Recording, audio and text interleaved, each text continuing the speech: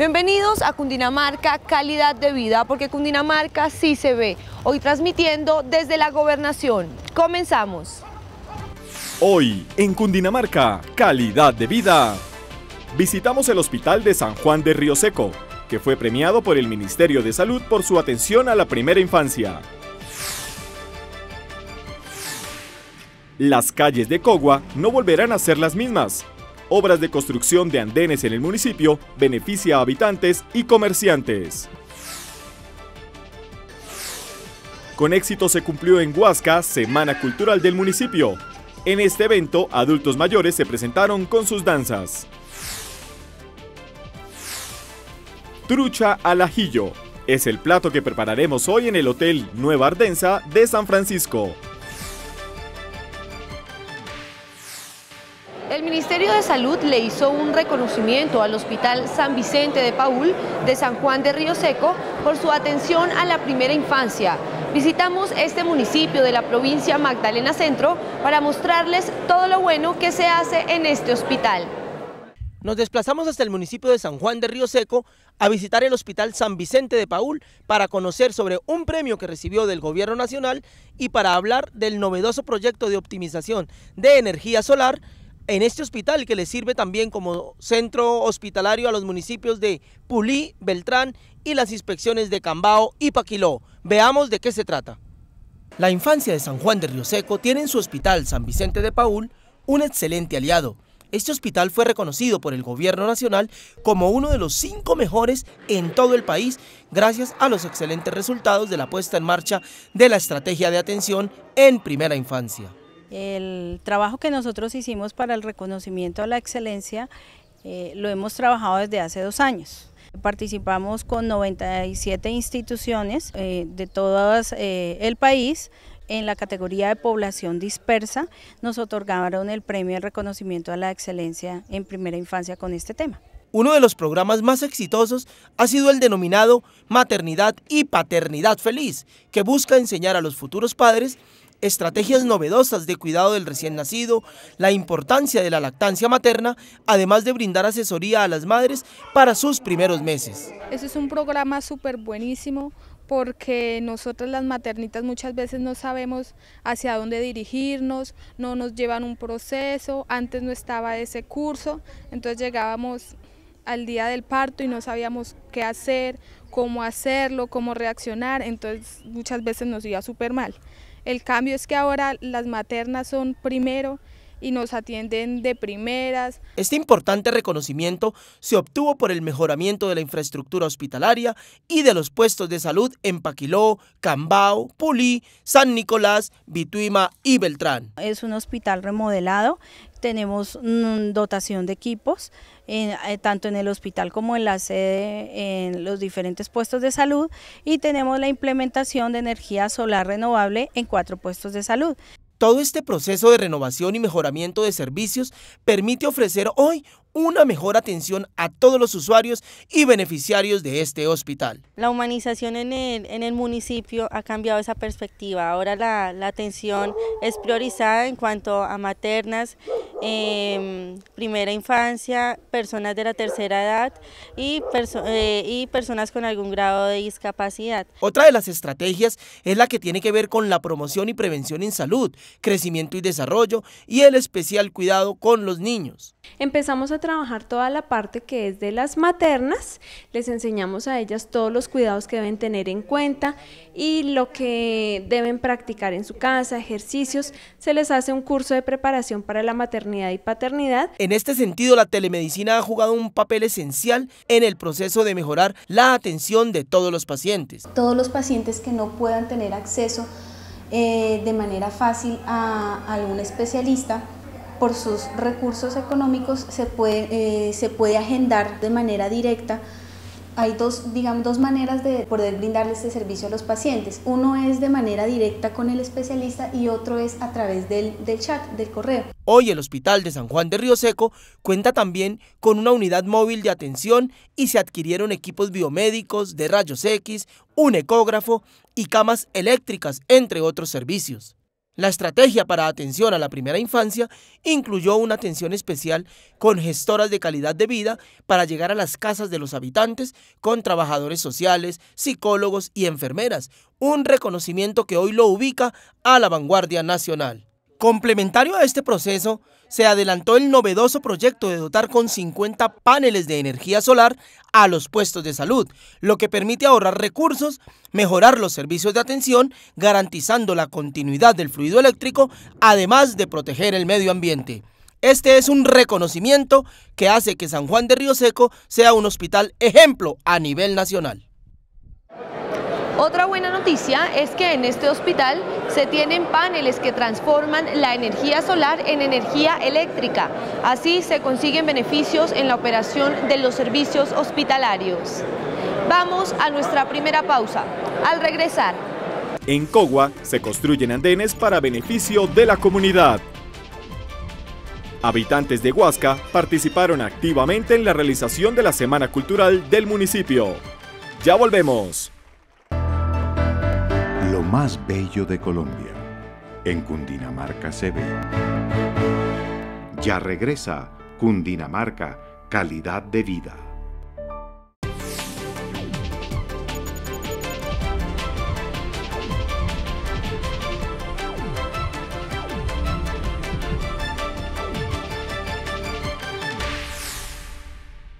Estamos de regreso. En Cogua actualmente se están cambiando los andenes de sectores del municipio para mejorar la movilidad, principalmente de personas que transitan en silla de ruedas. Hablamos con habitantes sobre la obra y esto nos contaron. En Cogua se trabaja fuertemente por brindar un bienestar a los peatones y habitantes del municipio.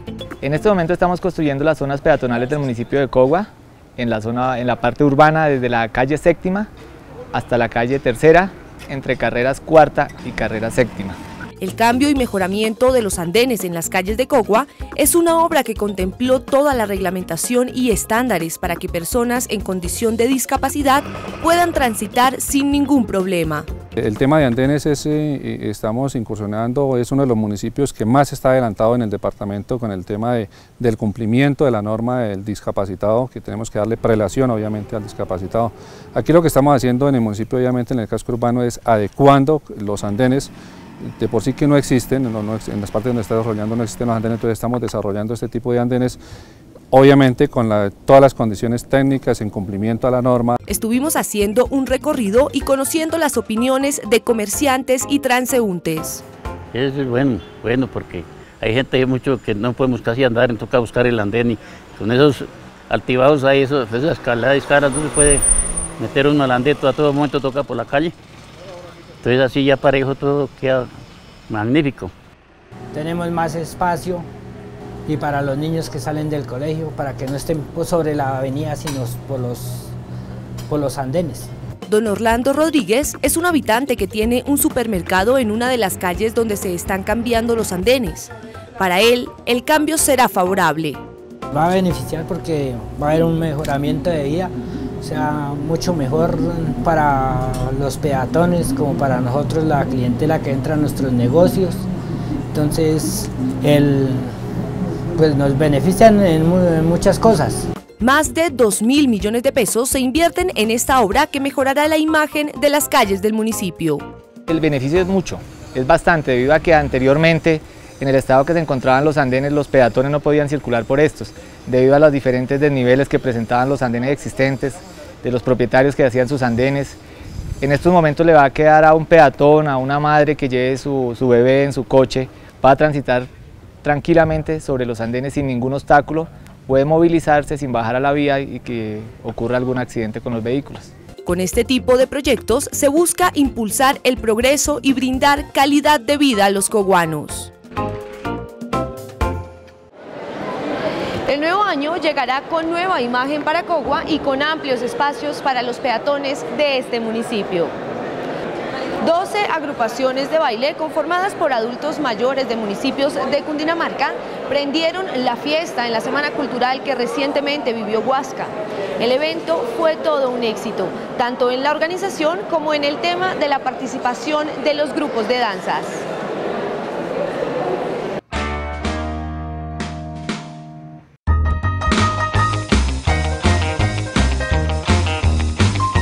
La Semana Cultural de Huasca, los adultos mayores de la región llegaron para bailar al son del twist, la carranga, el rock and roll, la cumbia y el porro.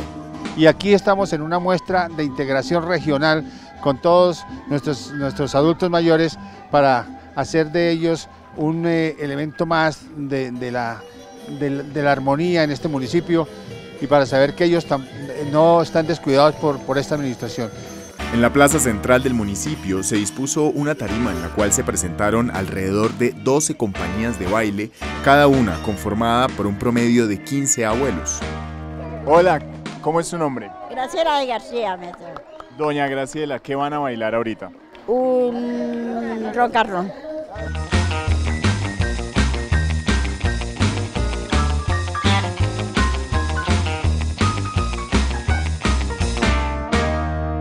¿Qué siente cuando usted baila? ¿Qué le produce? Eh, la música nos hace vibrar, nos hace vibrar, nos hace decir que estamos vivos y que valemos mucho. Por eso somos la tercera Los municipios de Cundinamarca cuentan con unos espacios para el adulto mayor denominados centros vida. Allí tienen la oportunidad de unirse a grupos de danza y ensayar una vez por semana en periodos de dos a tres horas. Primero, darles un conocimiento general de qué son las técnicas que se hacen en la danza, y luego pues darles un breve conocimiento de cómo son los pasos de cada danza, aunque no lo hacen a la perfección porque el adulto mayor exigirle es, eh, pues la verdad, es pedirle mucho. ¿Qué es lo más difícil a la hora de bailar? Pues hay veces las coreografías porque hay coreografías que uno las entiende, otros no, hay otras coreografías que uno no las entiende y así, pero las coreografías son las más difíciles. La banda que vino de Gachancipá fue una de las más aplaudidas por el público, ya que alternó ritmos anglos como el twist y folclóricos como el vallenato. Teresa, ¿cuál es la música que más le gusta bailar? A mí me gusta bailar mucho las danzas y la música carranga. Me gusta ser alegre. Desde niña pequeña he estado con esa idea de los bailes. ¿Cómo se siente cuando usted baila? Yo me siento como si estuviera llegando al cielo. Me siento más grande que todos. Como que no que pueda en ese escenario. La tarde de danzas del adulto mayor en Huasca terminó con numerosos aplausos. Los abuelos se divirtieron, algunos enfrentaron los nervios propios del miedo escénico y otros lo tomaron como una buena práctica para hacer ejercicio. En síntesis, Cundinamarca es un territorio ideal para envejecer y ser feliz.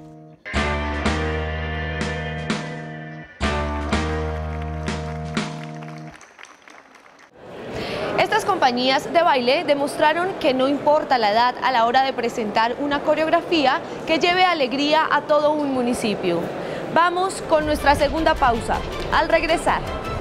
Si quieren preparar una deliciosa trucha al ajillo, atentos, les tenemos la receta. Ya volvemos. Lo más bello de Colombia. En Cundinamarca se ve. Ya regresa Cundinamarca, calidad de vida.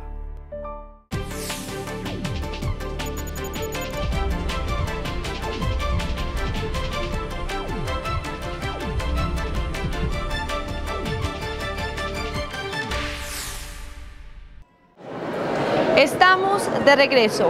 En el Hotel Nueva Ardenza de San Francisco nos enseñaron la preparación de la trucha al ajillo, un plato delicioso y de sencilla preparación. Veamos la receta. El turismo en San Francisco se ha incrementado en los últimos años. Prueba de ello lo constituye el aumento de la oferta hotelera. Nueva Ardenza es uno de los hoteles tradicionales que se ha fortalecido para prestar un mejor servicio. Esta es la parte antigua que digamos es construida hace 50 años. Anteriormente eh, esto servía como convento de las monjas posteriormente pues fue comprado por nosotros y hemos hecho algunas remodelaciones. ¿Qué ofrece el Hotel Nueva Ardenza? 12 habitaciones eh, con su respectivo baño privado, TV plasma con sus closets, eh, servicio de wifi. Y en la segunda planta encontramos un salón de eventos para 120 personas. Acostado ya, ya encontramos ya la piscina hacia donde nos dirigimos. Eh, el servicio adicional, tenemos servicio de pasadía 5.000 por persona, mm, de domingo a domingo. Bueno, ¿qué tanto se mueve ese hotel en San Francisco? ¿Ha ido aumentando la parte turística? Pues en sí tenemos que hacer una proyección que en tres años pienso que ha subido un 40% la capacidad turística. Los turistas tienen un excelente concepto del hotel. Me gustan mucho las habitaciones, la fachada es muy lindo, muy agradable, me gusta mucho la piscina, es muy divertido venir acá por el servicio, la atención, la comida, todo es muy rico. Por esto en el Hotel Nueva Ardenza conoceremos la preparación de la trucha al ajillo. Hoy en el Hotel Ardenza vamos a preparar la trucha al ajillo. La trucha al ajillo lleva sal, ajito, perejil, papa francesa, patacón y una ensalada con vinagreta. Lo primero que vamos a hacer es adobar la trucha, que quede bien adobadita. Ahora le vamos a colocar el ajito. Entonces ahora sí le vamos a colocar a la plancha y va directamente con todo el sazón. Dejamos la trucha en la plancha durante aproximadamente 5 minutos. Ahora procedemos a fritar las papas en el aceite bien caliente. Verificamos cómo va la trucha y la volteamos para que se cocine por el otro lado. Una vez se retiran las papas, se frita el patacón. Lo dejamos por 5 minutos, lo sacamos del aceite y procedemos a sofreír la yuca. No se puede fritar todo a la vez porque cada uno tiene un tiempo de cocción diferente. Verificamos la cocción de la trucha para proceder a preparar el ajillo. Dejamos que se caliente un poquito la mantequilla y colocamos el ajito y el perejil. Cuando el ajillo está en su punto, lo retiramos del fuego y lo aplicamos cuidadosamente sobre toda la trucha. Ahora colocamos los acompañamientos en el plato. Poco a poco ubicamos la yuca, el patacón y la papa a la francesa. Y ya está lista la trucha al ajillo para disfrutarla en la mesa y mejor aún, cerca una refrescante piscina en el Hotel Nueva Ardenza de San Francisco.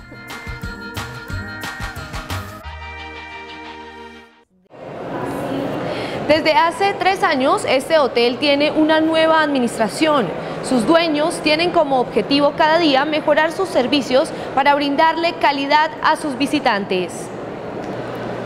Ahora vamos con un breve resumen de los sucesos más importantes del departamento en desarrollo del convenio de hermandad y cooperación suscrito recientemente entre Biotá y la Municipalidad de Dota en San José de Costa Rica, funcionarios gubernamentales provenientes de este país visitaron Biotá para intercambiar experiencias. Esta vez nosotros con la APC Colombia y con la gobernación logramos que los pequeños gobiernos locales, como el caso de, Biotá, pudiéramos salir con todos los gastos pagos, con todo lo que significa el proceso de aprendizaje fuera del país y aprender cosas. Fuimos a Costa Rica, aprendimos lo que ellos tienen muy valioso, que es el tema de la asociatividad, de la cooperación, de la comercialización del, café.